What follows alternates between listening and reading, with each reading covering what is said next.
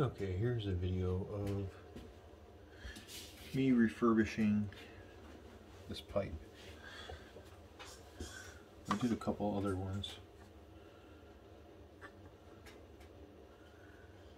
Uh, let's see. A little bit bigger ball. This one was really burnt right there. Right there. This is gonna be my next one. Adjustomatic.